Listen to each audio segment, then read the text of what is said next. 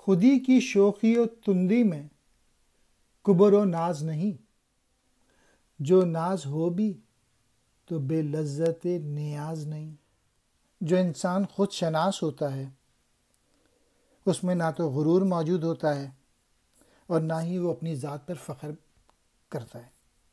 लेकिन अगर कभी आपको नज़र भी आ जाए कि वो फ़ख्र कर रहा है तो इस नाज में भी आपको इस जो इनकसारी नज़र आएगी। और ख़ुद ही को और भी इस तरह से डिफ़ाइन किया जाता है जिसको अपनी रियलिटी मालूम हो और अपना पर्पस ज़िंदगी में मालूम हो। शोखी व तुंदी कहते हैं शिद्दत को या ज़्यादती को। किबर नाज बड़ापन तकबर फ़ख्र बेलज़त न्याज आजी के लुत्फ़ के बग़ैर।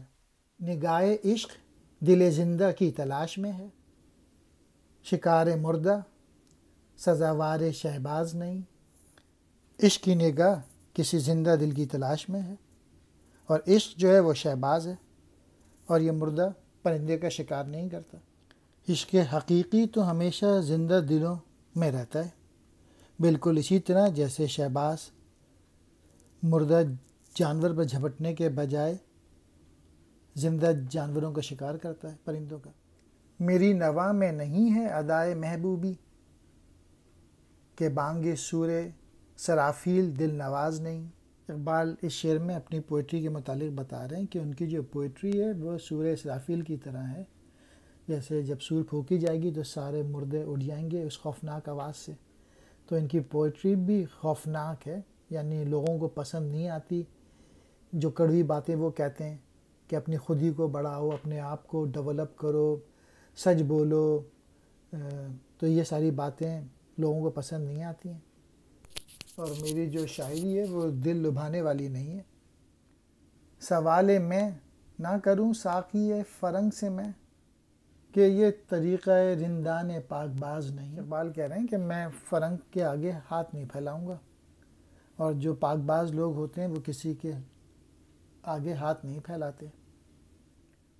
हुई ना आम जहाँ में कभी हुकूमत इश्क। सबब यह है कि मोहब्बत ज़माना साज नहीं। इश्क हकीकी का जज्बा जो है, वो हर दिल में नहीं पैदा हो सकता। अगर मोहब्बत ज़माना साज नहीं, और अगर मोहब्बत ज़माना साज होती तो अपनी खूबसूरती और कशिश खो बैठती। और जो आम ज़माना होता है, वो ज़माना साजी है। ज़माना साज अपने मतलब के लिए ज़माने के साथ साथ चलना। एक इसतराब मुसलसल, गयाब हो के हुजूर। मैं ख़ुद कहूँ तो मेरी दास्तां दराज नहीं। इस तरह मुसलसल लगातार बेचैनी। गयाब, हिजर फराख हुजूर हाजिर। दराज, लंबी तवील। इस शेर में इकबाल अपने मोहब्बत की कहानी बता रहे हैं।